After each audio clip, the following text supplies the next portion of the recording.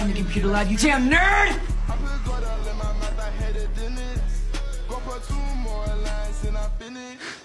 Go.